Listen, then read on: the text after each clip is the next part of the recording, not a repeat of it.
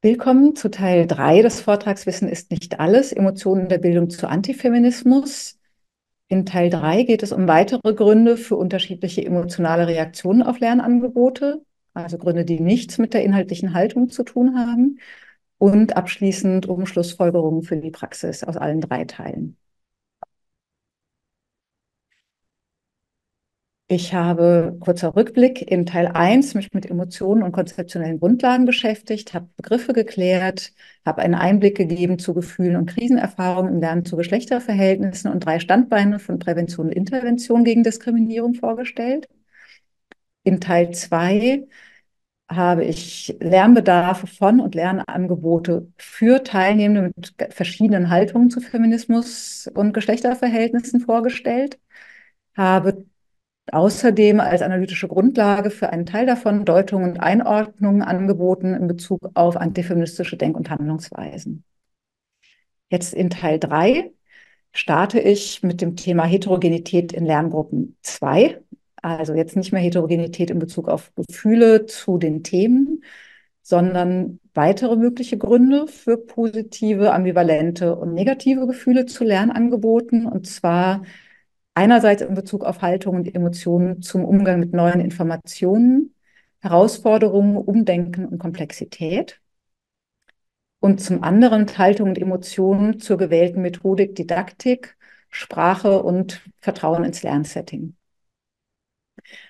Ich ziehe dann ein Fazit aus den beiden Heterogenitätsthemen aus Teil 2 und 3 und komme dann zu Schlussfolgerungen für die Praxis. Da gehe ich einmal ein darauf, was ich mir unter emanzipatorischer Bildung oder Pädagogik vorstelle, gebe da nochmal ein paar Prinzipien rein, ähm, schlage dann Anregungen vor, insgesamt zu einer Praxis zu diesem Thema, aus, wo ich auch relativ viel aus den Teilen 2 und 3 zusammenfasse und gehe am Schluss nochmal zumindest einen kurzen Einblick ein auf Besonderheiten in anderen Arbeitsfeldern der sozialen Arbeit.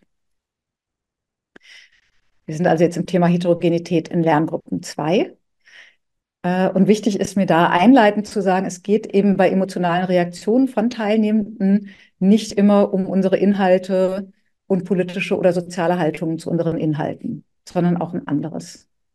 Und zwar unter anderem kann es gehen um Haltung und Emotionen zum Umgang mit neuen Informationen, um Herausforderungen, Umdenken und Komplexität. Ähm, Teilnehmende können auf neue Informationen, auf äh, Herausforderungen in Lernangeboten, auf die Einladung, Denken zu verändern, Denken weiterzuentwickeln oder auch ihre Gefühle sozusagen nochmal anzuschauen und vielleicht weiterzuentwickeln oder auch auf eine Konfrontation mit Komplexität, mit Neugier reagieren. Sie können das total spannend finden. Sie können mit viel Offenheit reagieren.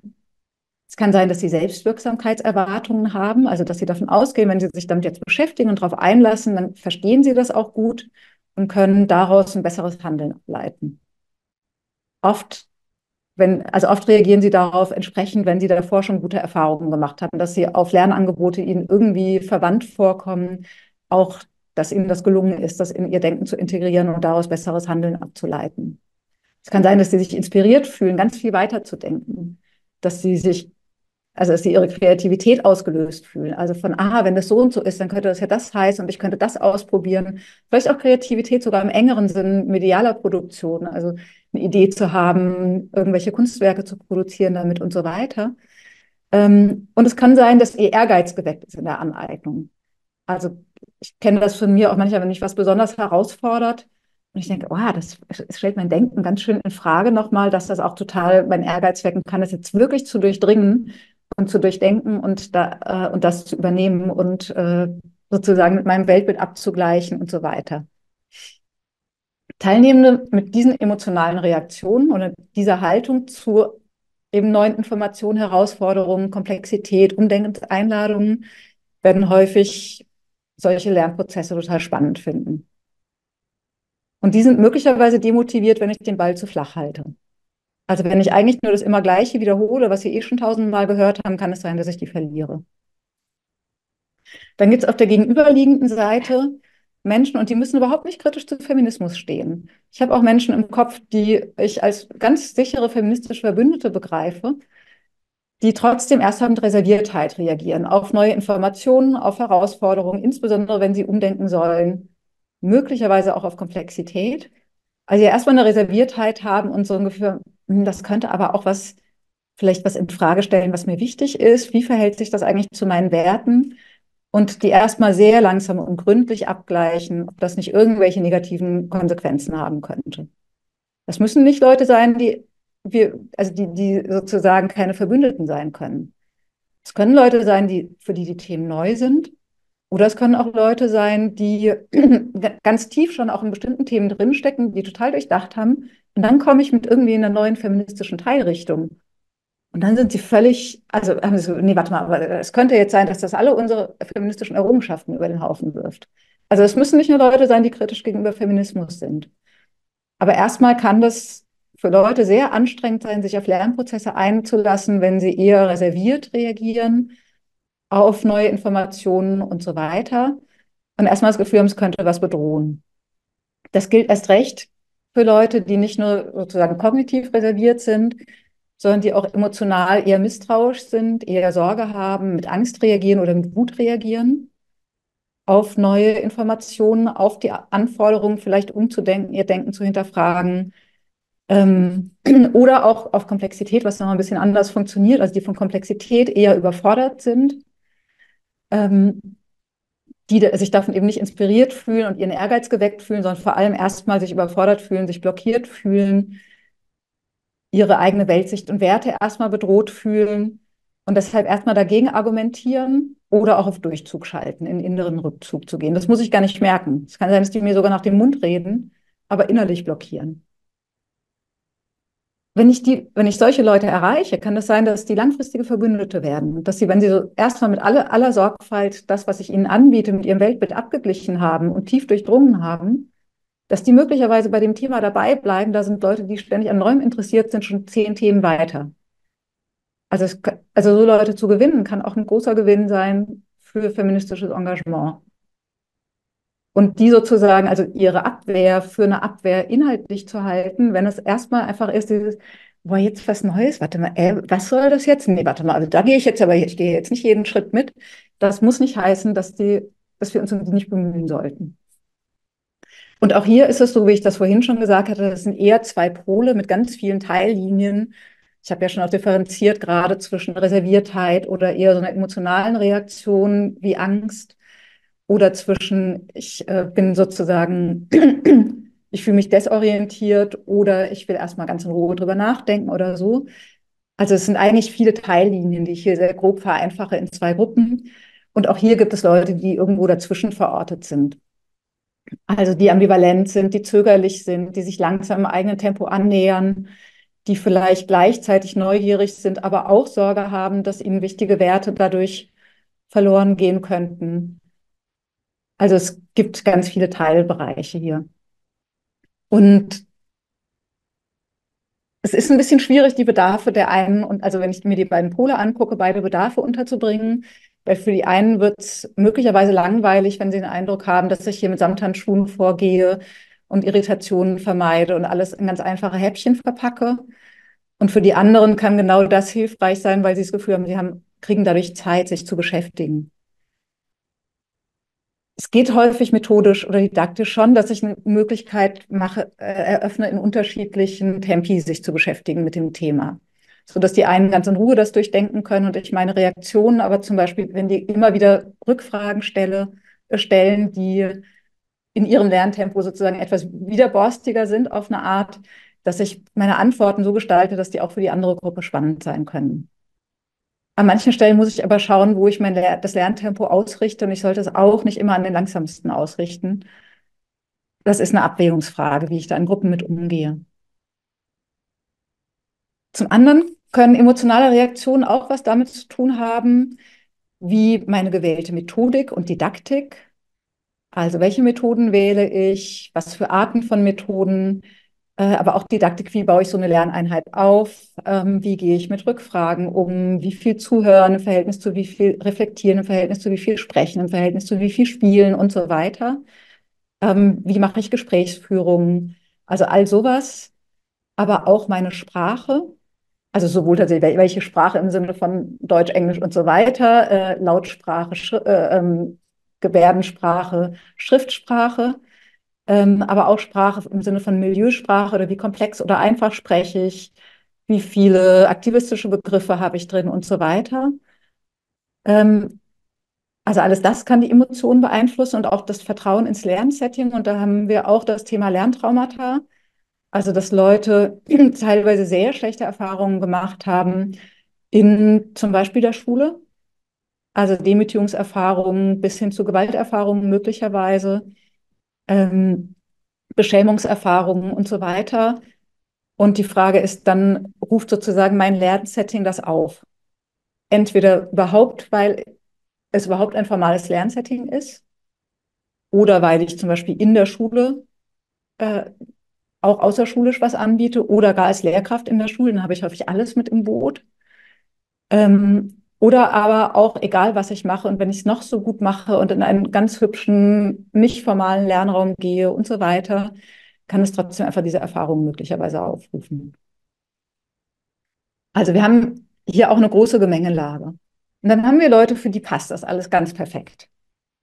Also für die sind die Methoden toll, die äh, finden meine Sprache toll, entweder weil ich ganz einfach spreche und sie mich toll verstehen oder weil ich ganz spannende neue Begriffe biete und sie haben Lust auf die neuen Begriffe oder weil sie mögen, dass ich so locker spreche und informell oder weil sie es gerade total spannend finden, dass ich so elaboriert spreche. Also auch verschiedene Leute mögen Verschiedenes an Sprache. Ich werde es in heterogenen Gruppen nicht allen recht machen können. Aber es gibt Leute, die finden das toll, wie ich spreche. Es gibt Leute, für die ist das Lernsetting toll, entweder weil sie insgesamt ganz hervorragende Erfahrungen mit Lernsettings gemacht haben oder weil mein Lernsetting anders ist als das, wo sie schlechte Erfahrungen gemacht haben, weil ich mehr spiele oder weil ich auf keinen Fall spiele, weil sie nämlich Spiele hassen ähm, und so weiter.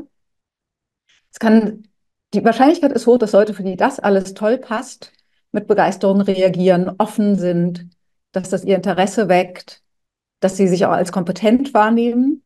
Also wenn die Methoden gut zu ihren Kompetenzen passen, das kann natürlich schön für das Gefühl dazu sein, sich als Kompetenz wahrzunehmen, dass sie die Relevanz wahrnehmen, weil meine Vermit Versuche, die Relevanz zu vermitteln, sie eben gut ansprechen, dass sie einen Vertrauensvorschuss haben. Also weil es so gut passt, glauben sie, dass ich ihnen auch inhaltlich was Interessantes vermitteln kann, weil ich so nett bin oder was auch immer ähm, und dass es auch gute Vorerfahrungen für sie aufruft.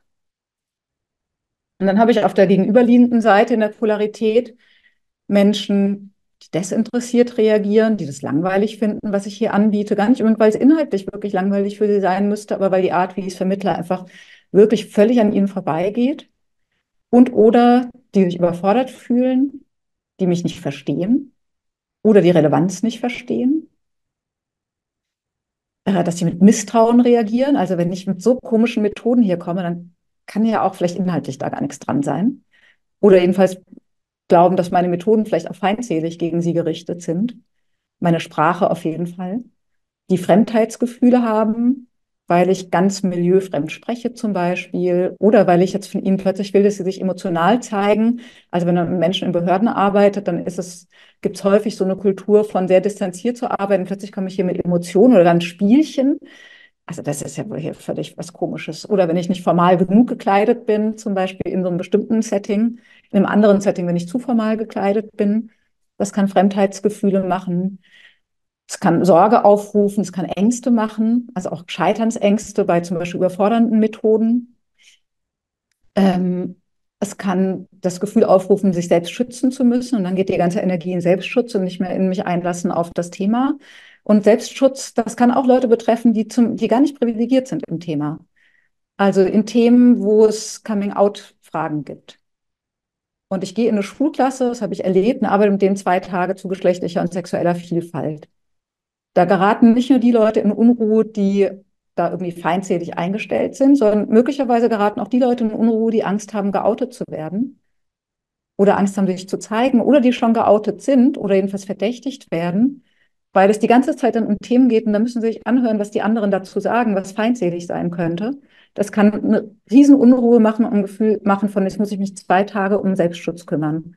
Denn ansonsten fällt mal ein schwulenfeindlicher Spruch zum Beispiel oder ein transfeindlicher Spruch, aber ich habe nicht zwei Tage am Stück dieses Thema vor der Nase und die Reaktionen der anderen. Und muss vielleicht noch überlegen, wie ich bloß nicht zu viel Interesse zu erkennen gebe, weil sonst könnte ich verdächtigt werden. Ähm, es kann sein, dass eben Verletzungserfahrungen im Raum stehen und oder Lerntraumata. Und für diese Le also Leute in dieser Gruppe ist das ein wahnsinnig anstrengender Prozess. Auch das heißt überhaupt nicht, dass sie irgendwas inhaltlich verweigern. Aber diese Anstrengungen, entweder können sie gegen sich wenden, indem sie einfach innerlich aussteigen, oder sie machen sie zu meinem Problem, indem sie dann für mich halt auch anstrengend sind. Und es kann durchaus sein, dass sie dann auch durch widerständige inhaltliche Äußerungen anstrengend sind, dass aber die eigentliche Ursache zum Beispiel Überforderung mit dem Lernsetting ist. Oder sie, sich selbst schützen zu müssen und sich zum Beispiel vor Verdächtigungen zu schützen, indem sie sich besonders feindselig äußern, damit sie überhaupt nicht in den Verdacht geraten. Oder eben zu blockieren und sich zu verweigern aus Sorge, dass ich sie sonst beschämen könnte. Ähm, also das heißt, es kann viele Gründe auf dieser Ebene geben. Und auch hier geht es ja um ein Spektrum. Das heißt, es gibt Leute, die zum Beispiel, also die irgendwo mittig positioniert sind, die einfach ambivalent sind, erstmal abwarten, langsam Vertrauen aufbauen. Oder es gibt zum Beispiel Leute, die finden meine Sprache toll, aber also ich mache mal ein Beispiel, ich finde toll in meiner Sprache, dass die so elaboriert ist und spannende Begriffe hat, aber diese Spielchen, also das ist ja wohl, also hier Spielchen finde ich total nervig. Oder umgekehrt, die finden toll, dass ich mich total einfach ausdrücke. Aber dann gibt es so Methoden, wo man so reflektieren soll über Gefühle, das ist irgendwie, nee, also das überfordert mich jetzt gerade. Also das heißt, auch hier können Leute total unterschiedlich verortet sein auf den unterschiedlichen Teilpunkten. Und also ich würde sagen, auf die, also in, in diesem Thema ist es total wichtig, soweit ich es irgendwie im Rahmen meiner Ressourcen, der Zeit und so weiter leisten kann, zu gucken, methodisch, didaktisch für alle was einzustreuen. Also wenn die Spielchen machen, die für manche komisch sind und für andere toll sind, daneben auch was zu setzen, was ein bisschen ernsthafter ist und so weiter. Also zu versuchen, verschiedene Zugänge zu mischen.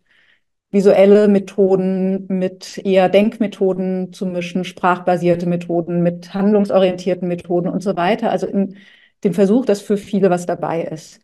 Desto weniger Zeit ich habe, desto schwieriger wird das. Oder desto mehr ich versprochen habe, inhaltlich zu vermitteln, also in Fortbildung, wenn ich ganz viel inhaltlich verspreche, ich kann am meisten Inhalt in kurzer Zeit über Vortrag vermitteln. Das heißt halt, dass für manche Leute da nicht so viel dabei ist. Das heißt, das muss man abwägen. Wenn ich frei ausschreibe, sollte ich sehr transparent sein über meine Methoden, so dass Leute überlegen können, ob mein Angebot für sie passt. Wenn das Zwangsveranstaltungen sind, dann ist es schwieriger. Wenn ich jetzt sozusagen auf diese gesamten Heterogenitätsaspekte gucke, da haben wir mit einer wahnsinnigen Gemengelage es zu tun. Besonders schön können diese Lernprozesse sein und dann kriege ich auch häufig besonders schöne Gefühle wiedergespiegelt für Leute, die eine positive Haltung zu Feminismus, Geschlechtergleichstellung und oder anti, eigentlich und Antidiskriminierung haben, die auf äh, mein Setting und meine Angebote und meine Didaktik und neue Inhalte und so weiter und Komplexität reagieren Begeisterung, Offenheit, Interesse, Kompetenz, Relevanzwahrnehmung, Vertrauensvorschuss, guten Vorerfahrungen, Neugier, äh, Selbstwirksamkeitserwartungen, also sich auch als kompetent wahrnehmen darin, Inspiration, Kreativität, Ehrgeiz. Besonders anstrengend wird mein Angebot für Leute, die auf das Setting, das ich anbiete, mit Desinteresse, Langeweile, reagieren und oder Überforderungen nicht verstehen, Misstrauen, Fremdheitsgefühlen, Sorge, Angst, Selbstschutz, Verletzungserfahrungen, Lerntraumata, die auf Neues, Komplexität, Umdenken und so weiter reagieren mit Reserviertheit, Misstrauen und oder Sorge, Angst, Wut, Desorientierung, Überforderung, der, also dem, dem Gefühl, die eigene Welt, sich die eigenen Werte werden, könnten bedroht sein zumindest und durch erstmal dagegen argumentieren, das ist nämlich auch anstrengend. Oder auf Durchzug schalten, das ist auf Dauer langweilig auch. Und oder die eine negative Haltung zu Feminismus, Geschlechtergleichstellung oder Antidiskriminierung haben. Und dann gibt es in all diesen Themen eben Leute, die irgendwo dazwischen positioniert sind. Und es gibt auch Mischungen zwischen den verschiedenen Linien, die ich aufgezeichnet habe. Also es gibt Leute, die sind zum Beispiel eher ein bisschen reserviert gegenüber so den feministischen inhaltlichen Themen, die ich habe ich habe jetzt gerade eine Person vor Augen aus einer meiner letzten Gruppen, und gleichzeitig finden sie es toll, dass ich das mit der Selbstbestimmtheit wirklich ernst meine und dass ich wirklich respektvoll damit umgehe, wenn sie auch mal sich rausziehen oder mal was anderes, also sich selbstständig mit den Themen beschäftigen und nicht jeden Vortrag zum Beispiel anhören, jetzt in der Fachkräftebildung ähm, und ihr eigenes Projekt machen. Und die sozusagen darauf, dass ich darauf respektvoll reagiere und das wirklich ernst nehme mit der, dem Respekt und der Selbstbestimmung, dann auch offener schauen, mit welchen meiner Inhalte sie doch was anfangen können, auch wenn sie bei anderen erstmal skeptisch sind. Oder es kann eben sein, dass Leute eigentlich schlechte Erfahrungen gemacht haben mit Lernsettings, aber dadurch, wie ich rangehe, mir so vertrauen und mir auch nochmal anders vertrauen, weil ich als feministisch ihnen bekannt bin oder erscheine, dass sie sich dann nochmal auf was Neues einlassen, auch wenn das Neue sie eigentlich, auch wenn sie tendenziell eher misstrauisch bei neuen Dingen sind. Aber dass es so ein Vorvertrauen gibt. Also das heißt, es gibt Mischungen auf diesen ganz verschiedenen Ebenen. Insgesamt ist es so, dass wir in den meisten Formaten nicht allen gleichzeitig gerecht werden können und nicht alle gleichzeitig erreichen können. Also gleichzeitig schon gar nicht, weil Leute einfach so unterschiedliche Wünsche und Ansprüche und Bedarfe haben an Lernerfahrungen. Das geht gar nicht auf einmal, da kann ich irgendwie noch mischen. Aber wenn das, desto kürzer das Angebot ist oder desto mehr Inhalte ich in einer bestimmten Zeit bearbeiten muss, desto weniger kann ich auch eine Mischung finden, die für alle gleich gut ist. Ich muss mir das vor Augen führen und dabei bewusste Abwägungen treffen, aber eben mitdenken, dass es nicht immer, wenn das nicht so klappt, wie ich mir das wünsche, um meine Inhalte geht, sondern möglicherweise auch um den Umgang mit neuen Informationen, um meine Methoden, meine Sprache, Vertrauen, Vertrautheit, Misstrauen und Fremdheit gegenüber mir oder dem Lernsetting, gute oder schlechte Vorerfahrungen, sich mit eigenen Erfahrungen gesehen oder nicht gesehen zu fühlen und so weiter. Und ich sollte mich halt bemühen, je nachdem, was geht, in dem Lernsetting, das ich habe, mit meinen Ressourcen, mich dem zumindest anzunähern, verschiedene Bedarfe und Herausforderungen mitzudenken. Und nicht davon auszugehen, die, die ich nicht so gut erreiche, das liegt nur daran, dass sie total diskriminierungswillig sind und ihre Privilegien absichern wollen. Was heißt das jetzt alles für die Praxis? Ähm, ich mache einen Exkurs, was meine ich eigentlich mit emanzipatorischer Bildung oder Pädagogik? Und ich werfe Bildung und Pädagogik zusammen, weil Pädagogik noch ein bisschen breiter ist und auch nicht formelle Lernsettings mit umfasst. Ähm, aus meiner Sicht heißt das erstmal keine autoritäre Zurichtung. Also ich äh, habe in den letzten Jahren viel mit Ibn Sadi zusammengearbeitet, von dem ich nochmal übernehme, stärker zu differenzieren zwischen emanzipatorischer Pädagogik und antidiskriminierender Pädagogik. Also weil es durchaus auch autoritäre Settings gibt, die sich gegen Diskriminierung richten. Und emanzipatorische Pädagogik hat nochmal mehr im Kopf, wo wollen wir eigentlich hin? Also was ist die Gesellschaft, in die wir hinwollen? Nämlich eine freiere, eine wohlwollendere, also die mit Differenz wohlwollender umgeht und so weiter. Und dass, wenn ich mich dahin bewegen will, der Zweck nicht die Mittel heiligt. Also heißt schon, ich muss, um Leute zu schützen, muss ich auch meine Autorität auch im Sinne harter Grenzen manchmal nutzen und Leute zum Beispiel rauswerfen, die andere schädigen gerade oder die Bildungsteilhabe von anderen einschränken. Aber bei allem, wo ich sozusagen autoritär vorgehe oder Macht nutze, immer noch mal zu fragen, was rechtfertigt das eigentlich? Ähm, und erstmal grundsätzlich nicht über eine autoritäre Zurichtung oder Manipulation vorzugehen. Ich kann mir das auch über die Ziele überlegen. Also einerseits, wenn ich möchte, dass Leute lernen, wie sie sich so verhalten können, dass wir uns einer irgendwie emanzipierteren Gesellschaft besser annähern, dann werden sie das nicht davon lernen, dass ich sie beschäme, äh, beschäme, demütige und so weiter abwerte, weil sie mal ein falsches Wort gesagt haben.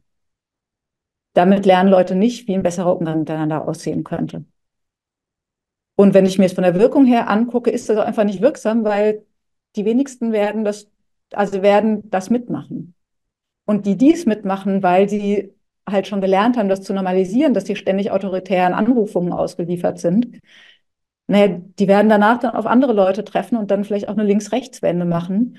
Also es ist ja kein Zufall, dass viele Leute, die auch aus einer linken Organisierung mal kamen, sich irgendwann nach rechts gewendet haben, also wenn die aus autoritären linken Organisationen kamen. Ich denke jetzt so an Leute, die in den 70er Jahren aktiv waren und dann so eine Rechtswende gemacht haben. Also weil Rechte können das viel besser mit den autoritären Anrufungen. Die verliere ich sofort wieder, sobald da eine andere Autorität daherkommt. Und es, ich bin in einer Machtposition, wenn ich Bildungsarbeit mache. Auch ethisch finde ich es absolut nicht legitim, Leute zu überwältigen. Also wir haben im Beutelsbacher Konsens der politischen Bildung haben wir das Überwältigungsverbot und ich finde das richtig. Das heißt, ich finde, wenn ich ein Lernen für eine bessere Gesellschaft machen will, dann verbietet es sich mir, außer wenn ich andere wirklich dringend schützen muss und gar keine andere Chance habe, über Methoden von Manipulation, Zurichtung, Überwältigung zu arbeiten. Ein wichtiger Teil der emanzipatorischen Pädagogik ist es aus meiner Sicht, das Utopische durchblitzen zu lassen. Also erfahrbar zu machen, dass etwas zu gewinnen ist an Lebensqualität, an Beziehungen, an Miteinander, an Respekt, an Solidarität, an Gestaltbarkeit. Ich glaube, es ist wahnsinnig viel zu gewinnen. Und wenn es mir nicht gelingt, das nicht zumindest durchblitzen zu lassen in dem Lernangebot, dann ist irgendwas schiefgegangen. Manchmal kann ich nicht, weil die Gruppe so krass ist, in dem, wie feindselig die miteinander sind, dass ich die ganze Zeit nur mit Schadensbegrenzung beschäftigt bin. Aber grundsätzlich sollte mein Lernangebot so ausgerichtet sein, dass es eine Chance hat, dass das durchblitzt. Und nicht nur schwere Härte und Kritik. Das wird nicht zu vermeiden sein, aber nicht nur das, sondern es muss irgendwie zumindest ausbalanciert sein. Und ich sage mal kurz, dass ich hier sehr viel mehr nochmal zu diesen Themen ausgeführt habe in dem Text, der online steht. Aus diesem Zugang emanzipatorische Pädagogik leitet sich gerade auch im Kontext der kritischen Psychologie, da gibt es auch interessante Möglichkeiten, nochmal nachzulesen, äh, ab ein Herangehen, das heißt Lernangebote machen. Also natürlich habe ich irgendwelche Ideen, wie ich am liebsten hätte, dass die Leute danach denken und fühlen würden. Aber ich versuche nicht mit aller Macht, sie dahin zu bringen, sondern ich versuche Lernangebote so zu gestalten, dass sie eine Chance haben, damit hinzukommen. Das heißt, einerseits alles, was ich vorhin gesagt habe, über Relevanzherstellung, ähm, emotionale Ansprache, Mitdenken, wo vielleicht Widerstände auch noch herkommen könnten, an Dingen, an denen ich was schrauben kann, die nichts mit Verweigerung zu tun haben und so weiter. Also zu versuchen, mein Angebot möglichst gut zu gestalten. Und wenn ein Lernprozess nicht gelingt oder jedenfalls nicht in meinem Sinne gelingt, nicht immer vorschnell zu glauben, das liegt daran, dass die Teilnehmenden inhaltlich blöde Positionen haben, sondern erstmal auch zu analysieren, wo könnte das vielleicht auch mit einer Schwäche meines Angebots zu tun haben für verschiedene Teilzielgruppen. Entlang all dieser Heterogenitätsmerkmale, die ich aufgemacht habe und vielleicht auch weiterer. Und zu schauen, gibt es dann Weiterentwicklungspotenzial? Also kann ich mein Angebot ausbauen in irgendeiner Form, in der ich noch ein paar Barrieren abbauen kann, sodass mein Angebot annehmbarer wird. Das heißt nicht, dass alle das annehmen werden, wenn ich Selbstbestimmung fördern will, heißt das auch zu respektieren, dass Menschen zu anderen Schlüssen kommen können. Das heißt nicht, dass ich dem politisch nicht entgegentrete. Das tue ich. Aber trotzdem, ähm, aber also ich versuche auf Augenhöhe entgegenzutreten. Aber wo liegt es an Dingen, wo ich trotzdem was tun kann, dass mein Angebot annehmbarer ist für die, die irgendeine Offenheit haben, es anzunehmen? Und dann muss ich mir die Rahmenbedingungen anschauen, was davon ist tatsächlich gestaltbar ich kann mit wenig Bezahlung, wenig Zeit, schlechten Personalschlüssel und so weiter, kann ich echt nicht zaubern. Aber an manchen Dingen kann ich vielleicht doch auch ein bisschen was bewegen und vielleicht auch die Rahmenbedingungen mitgestalten. Mein Ziel ist Wirksamkeit. Also mein Ziel ist, ähm, mein Ziel ist in dieser Bildung nicht, äh, ich will immer das politisch-moralisch Richtige sagen und dann ist schon alles gut, weil ich habe ja bewiesen, dass ich das Richtige sage, da habe ich mich mal ertappt gefühlt mit einem Feedback und dachte, ai, da hat was gestimmt. Ähm, sondern zu schauen, was ist wirksam. Als politisch-moralisch kann es durchaus richtig sein, zu sagen, ich mache hier nicht immer die Erklärbärin und Leute sollen sich bitte schön mal aus eigener Motivation jetzt mit ihren Privilegien beschäftigen äh, und mit den Konsequenzen ihres Handelns, auch wenn sie nicht privilegiert sind und trotzdem unsolidarisch handeln und so weiter. Ähm, das kann politisch-moralisch total richtig sein. Es ist total ungerecht, dass häufig Betroffene immer wieder die Aufklärungsarbeit machen müssen, dass es häufig wirksamer ist, wenn ich geduldig vorgehe, wenn ich einfühlsam vorgehe und so weiter. Also ich bin das niemandem schuldig auf einer Alltagsebene. In der Pädagogik, wenn ich in der Machtposition bin, bin ich ein bisschen mehr Geduld und Einfühlsamkeit durchaus schuldig. Ähm, aber auch wenn ich es nicht schuldig wäre, ist die Frage, was wirkt. Und wirksamer sind häufig die Dinge, die ungerechterweise mehr Belastung, also mehr emotionale Arbeit zum Beispiel für Betroffene bieten. Was ich nicht richtig finde, ist meine Teilnehmenden, also die, die betroffenen oder engagierten Teilnehmenden dazu aufzurufen, dass sie ständig emotional einfühlsam sein sollen. Auf keinen Fall. Die kann ich auch dazu ermutigen, klare Grenzen zu setzen, nicht immer geduldig zu sein, nicht immer den Fehler bei sich zu suchen und so weiter. Aber wenn es mir um eine pädagogische Wirksamkeit geht, dann kann es sein, dass ich die erhöhe, wenn ich eben doch geduldig bin, wenn ich eben doch einfühlsam bin, wenn ich einen emotional warmen Raum schaffe und so weiter. Also das nochmal zu trennen. Und wenn ich Bildungsangebote gestalte, muss ich natürlich meine Grenzen berücksichtigen. Es gibt einfach Grenzen, das geht auch, da geht es nicht weiter, aber trotzdem innerhalb dieser Grenzen kann ich die Wirksamkeit erhöhen, wenn ich, naja, alles das, was ich schon, jetzt schon ein paar Mal wiederholt habe, äh, mache und tue. Wenn ich mir dann Emotionen anschaue, dann versuche ich gleichzeitig zu sehen, die sind individuell und sie sind politisch. Also es ist natürlich kein Zufall, dass in der Gesellschaft, die in vielfacher Weise von all diesen Sexismen geprägt ist und von vielen weiteren diskriminierenden Strukturen, dass in so einer Gesellschaft Leute Gefühle haben, die sie jetzt nicht total offen machen für feministische Denkangebote. Das ist kein Zufall, sondern die sehr gut zu verschiedenen Sexismen passen. Das heißt, es geht jetzt auch nicht darum, Gefühle einfach unangetastet zu lassen. Aber erstmal faktisch sind die Gefühle halt da und die gehen nicht davon weg, dass ich Leuten sage, dass die Gefühle falsch sind. Sondern irgendwie muss ich mit denen arbeiten und muss sie berücksichtigen und erstmal als Fakten hinnehmen. Und dann kann ich mit Teilnehmenden schon dazu arbeiten, was sie mit den Gefühlen machen. Das ist dann eine andere Frage nochmal. Ähm, Genau, dazu gehört eben, also um das machen zu können, um Wirksamkeit erreichen zu können, heißt es, mich zu interessieren, auch eben über diese politisch-moralischen Bewertungen hinaus. Nicht die über Bord zu werfen, aber mich zu interessieren über sie hinaus. Und relevant können auch intersektionale Spannungen sein.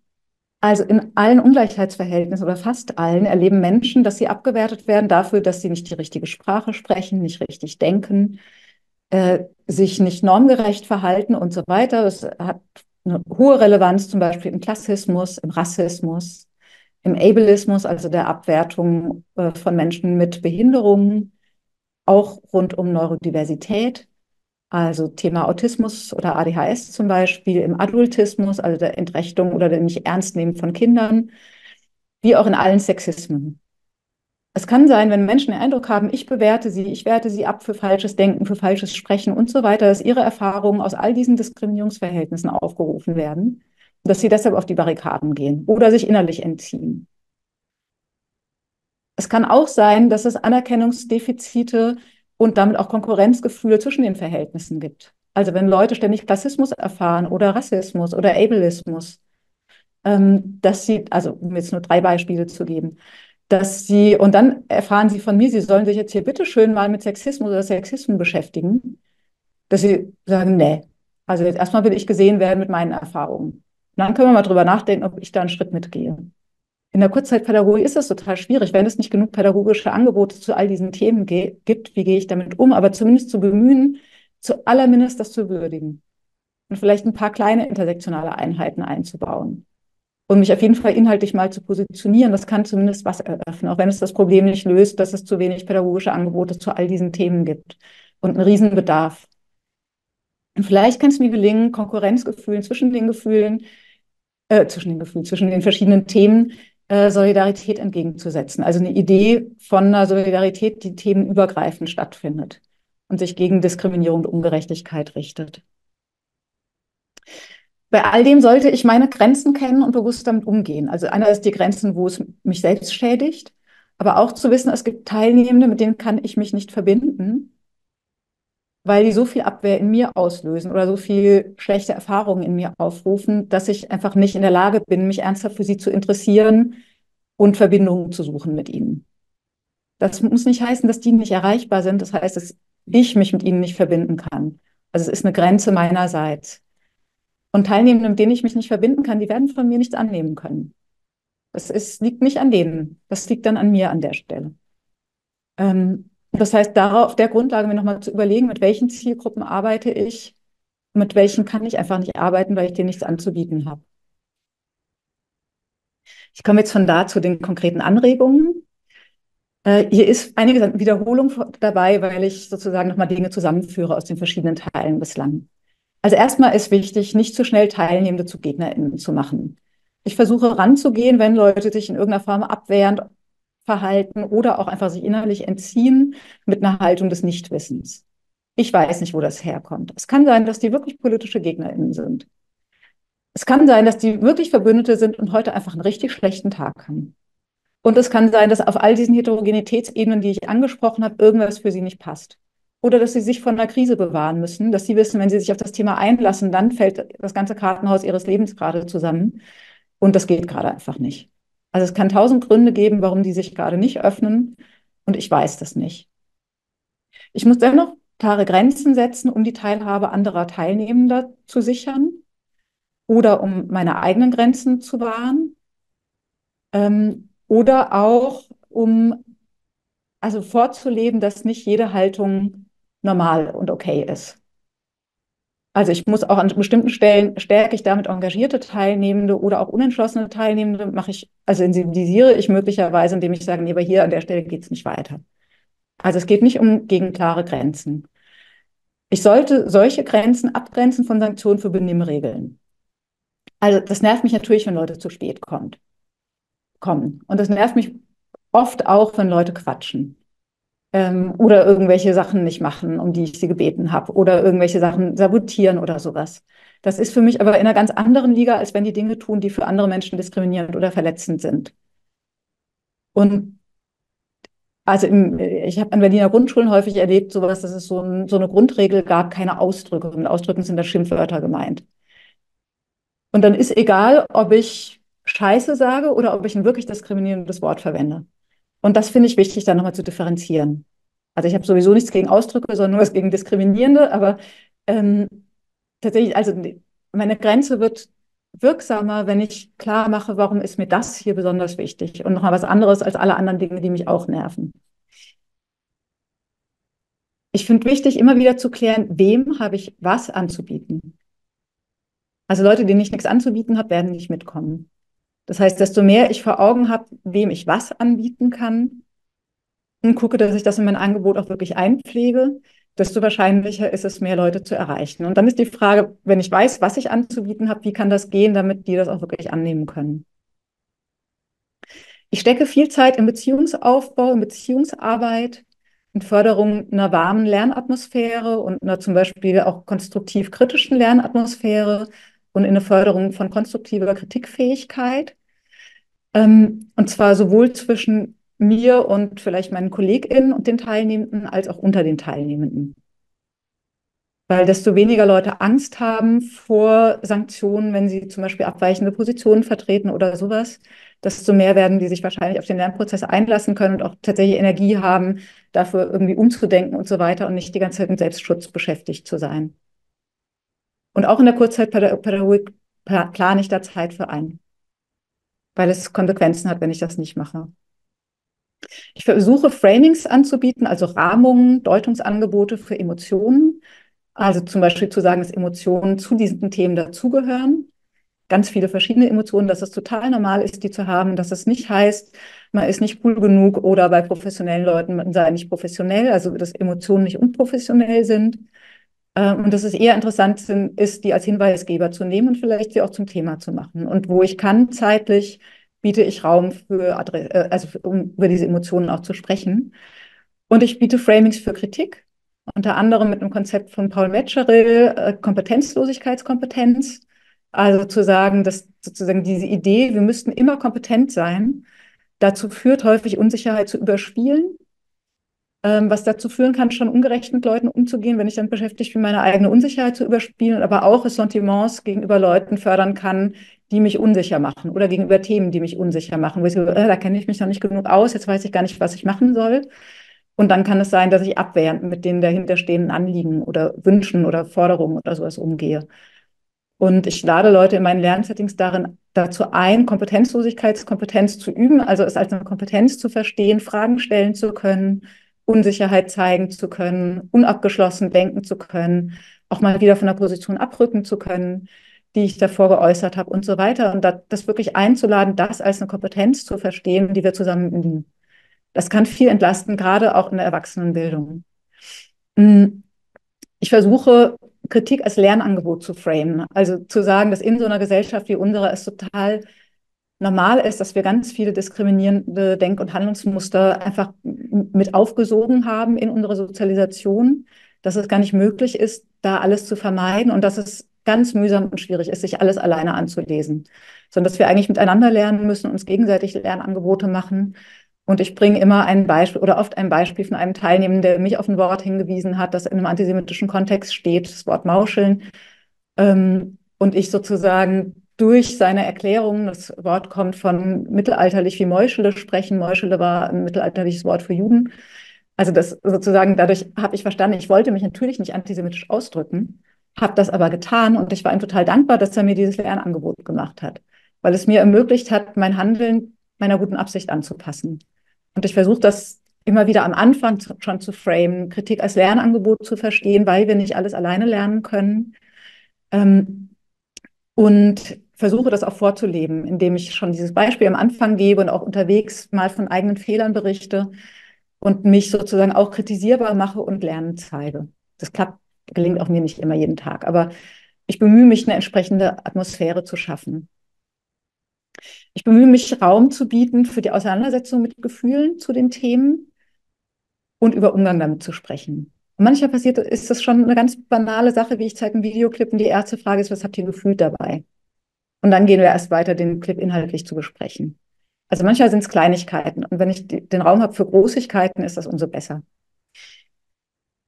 Äh, ich bemühe mich, den Anliegen, die anderen nicht schädigen, also sowas wie Orientierung, Handlungsfähigkeit, Sex, was auch immer, mit Respekt zu begegnen und handlungsorientiert zu arbeiten. Also wie kann ich meine Wünsche erfüllen oder jedenfalls zu versuch versuchen, meine Wünsche zu erfüllen, ohne andere zu schädigen?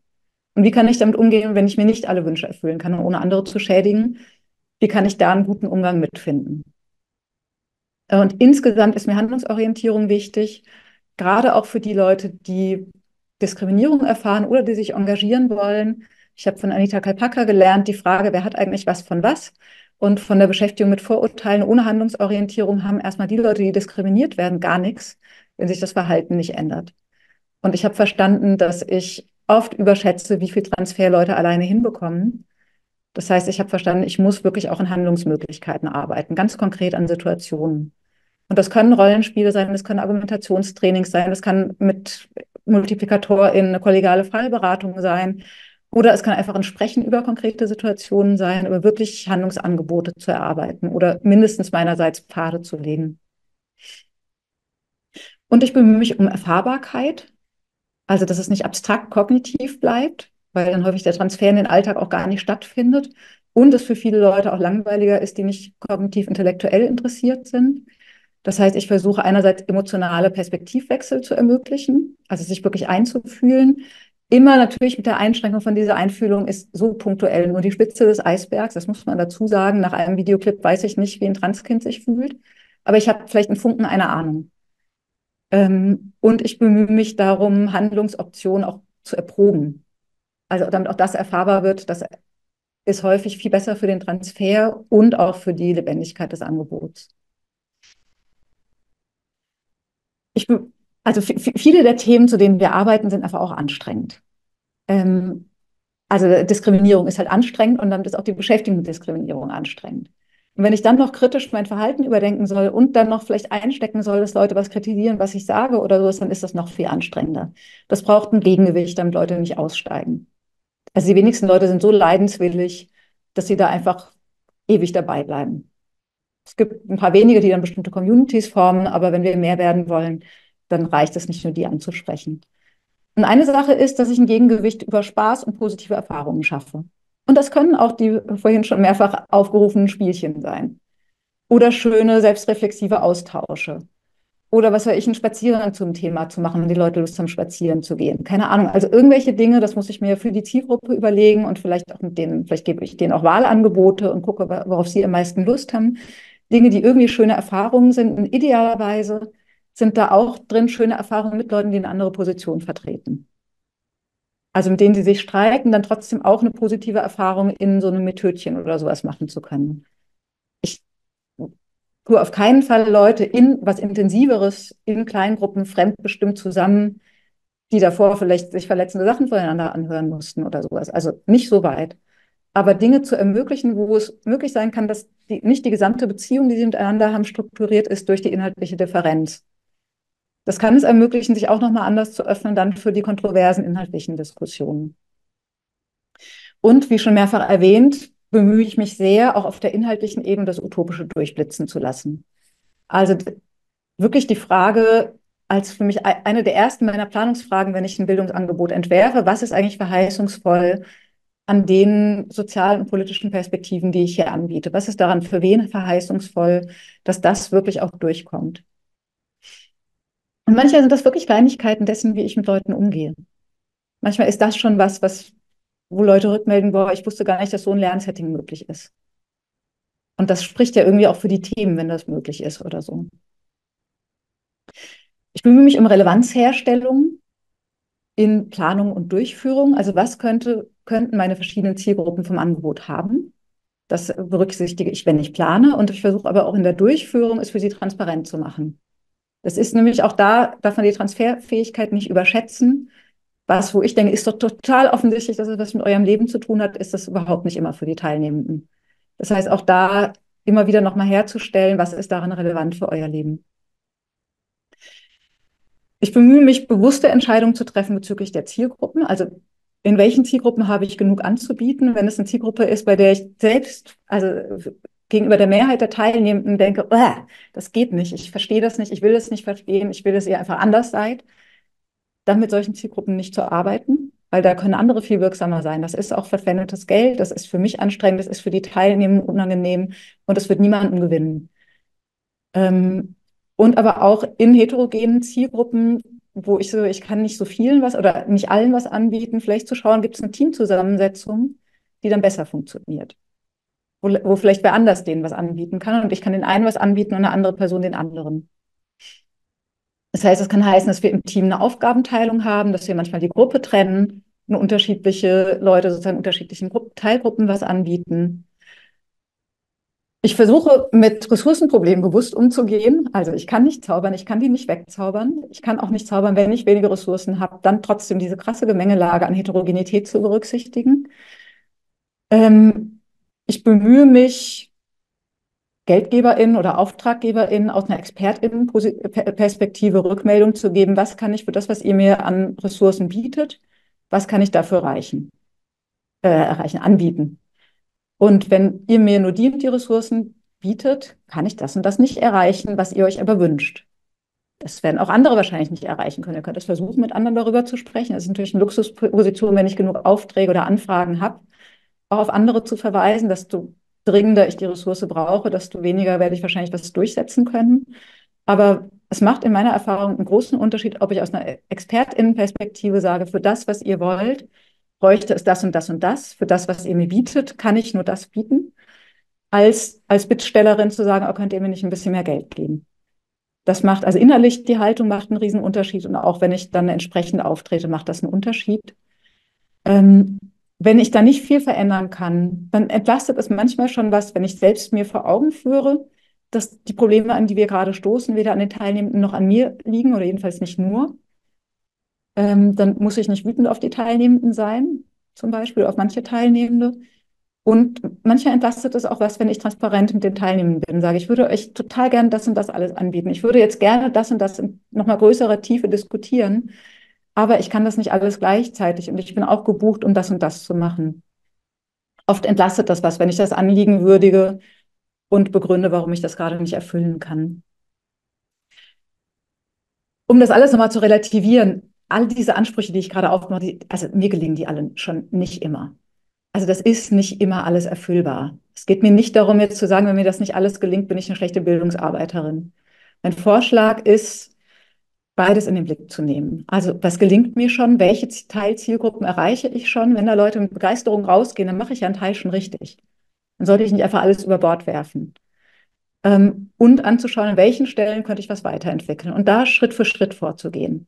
Also nicht zu denken, das taugt jetzt alles nichts, weil mir das und das nicht gelingt, sondern zu gucken, was könnte der nächste Schritt sein und was könnte vielleicht im Jahr nochmal zu erreichen sein oder so. Also da auch wohlwollend mit den eigenen Grenzen umzugehen und auf beide Aspekte zu schauen. Und dann komme ich zu der letzten Folie, nämlich Besonderheiten in anderen Arbeitsfeldern der sozialen Arbeit. Also es lässt sich natürlich vieles an den Analysen, die ich gerade gegeben habe, sowieso auf alle möglichen Tätigkeitsfelder auch auf Aktivismus und so weiter übertragen. Aber die Umgangsweisen, die ich jetzt aufgemacht habe, leben ja sehr von so einem formalen Bildungssetting, in dem ich Dinge aufbauen kann, Schritt für Schritt, in dem ich mit Methoden arbeiten kann und so weiter. Wenn ich mir andere Arbeitsfelder der sozialen Arbeit anschaue, kann es schon mal sein, dass ich Auftragskonflikte habe. Mein Auftrag ist vielleicht gar nicht Bildungsarbeit. Mein Auftrag ist auch nicht irgendwie Antifeminismus abzubauen. Mein Auftrag ist vielleicht, eine Person in Arbeit zu bringen oder einen Familienkonflikt zu lösen oder ähm, eine Wohngruppe zu betreuen und dafür zu sorgen, dass Leute irgendwie zum Beispiel nicht mehr so schuldistant sind oder sowas. Also ich habe einen völlig anderen Auftrag. Da kann es einen Auftragskonflikt geben, mit dem muss ich halt irgendwie, also da kann ich jetzt auch nicht viel zu herbeizaubern. Irgendwie muss ich einen Umgang mit diesem Auftragskonflikt finden. Wahrscheinlich werde ich sehr viel weniger Zeit dann auf den Bildungsaspekt legen können, aber vielleicht kann ich trotzdem was einbauen. Wenn ich mir Einzelsettings anschaue, also ich schaue mir jetzt besonders langfristige Einzelsettings an, so ein, ein kurzes Beratungssetting kann da nicht so viel zu leisten. Aber wenn ich mir ein längerfristiges Einzel Einzelsetting anschaue, wie Einzelfallbetreuung oder sowas, dann habe ich da eine ziemlich gute Chance durch die Längerfristigkeit ähm, Alternativen zu antifeministischen Versprechungen zu fördern oder auch Empowerment zu begleiten oder engagiert zu stärken. Also alles das kann ich im langfristigen Einzelsetting, da kann ich ja viel mehr auf die einzelnen Bedarfe eingehen. Und ich muss mich zum Beispiel auch nicht damit beschäftigen, wenn jemand sich anti, äh, antifeministisch äußert, was das für die anderen heißt, die das mithören müssen, weil es muss niemand mithören. Das heißt, da bietet ein Einzelsetting richtig viele Möglichkeiten. Eben in diesen längeren Angeboten kann ich Beziehungsarbeit leisten, ganz anders eine Beziehungsarbeit aufbauen. Das hat ein Riesenpotenzial, da, dafür mehr Vertrauen aufzubauen, dass Leute auch mehr öffnet, sich auf meine, auf meine Angebote einzulassen. Was ich nicht kann in Einzelsettings, ist andere Stimmen in der Gruppe einzubeziehen. Das heißt, wenn wir in eine Konfrontationsposition geraten, wo das eine gegen das andere steht, wo es in heterogenen oder in Gruppen überhaupt möglich ist, dass ich nochmal andere Stimmen reinhole, auch um mal selbst ins nochmal Denken zu kommen und selbst aus der sozusagen dieser Konfrontationsposition rauszukommen, aber auch die andere Person einzuladen, das zu tun, das kann ich einem Einzelsetting nicht. Da muss ich irgendeine andere Form des Auswegs finden. In Jugendfreizeitangeboten, Wohngruppen und ähnlichen Kontexten ohne Seminarsetting, also in denen können ja auch Seminare stattfinden möglicherweise, aber das ist ja nur ein kleiner Teil der gesamten Zeit, die da äh, stattfindet, habe ich erstmal das Problem, dass ich keinen systematischen Aufbau machen kann. Ich kann nicht erst irgendwie Beziehungsaufbau machen, dann ein paar Methodchen zum Anwärmen, Relevanzherstellung und so weiter. Das geht da alles erstmal wenig, äh, also nicht so in dieser strukturierten Form, äh, sondern ganz viel findet in Tür- und Angelgesprächen statt. Das heißt, ich muss anders vorbereitet sein, was sage ich in Tür- und Angelgesprächen, wo ich nicht lange was aufbauen kann, sondern wo ich manchmal eine Minute habe, was zu sagen. Da muss ich mich ganz anders inhaltlich nochmal drauf vorbereiten auch. Hm. Ich habe eine Möglichkeit, in diesen Settings Gesprächsanlässe zu schaffen. Unter anderem durch Deko, also durch Plakate, die aushängen, durch Materialien, die ausliegen, durch Musik, die läuft, durch Veranstaltungen und so weiter. Da kann ich Gesprächsanlässe schaffen. Dann sollte ich auch die Zeit einplanen, mit diesen Gesprächsanlässen dann auch was zu machen. Und ich sollte meine Ansprechbarkeit signalisieren, dass Leute wissen, sie können mich auch für diese Themen ansprechen.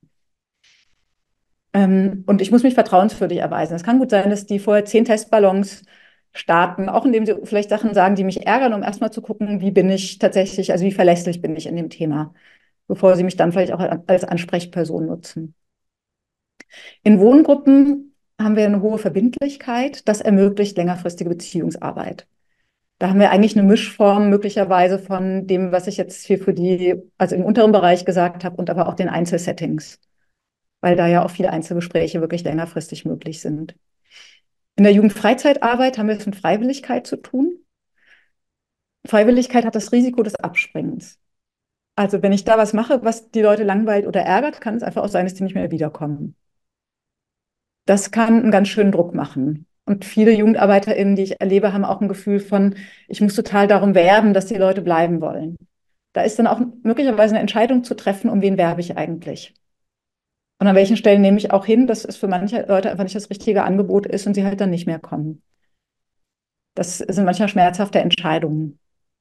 Gleichzeitig hat die Freiwilligkeit die große Chance, dass weniger Misstrauen vorhanden ist als in schulischen und schulverwandten Settings. Und möglicherweise bleiben Leute über Jahre dabei und sind dann gerade über die Beziehungsarbeit, auch über eine gewachsene Beziehungsarbeit durch irgendwie schöne Freizeitbetätigungen gemeinsam ganz anders offen, auch sich inhaltlich von mir Sachen anzuhören. Und damit bin ich fertig und danke für Ihre und eure Aufmerksamkeit und weise nochmal darauf hin, dass einiges nochmal ausführlicher in den Texten auch zu finden ist. Vielleicht sehen wir uns irgendwann. Tschüss.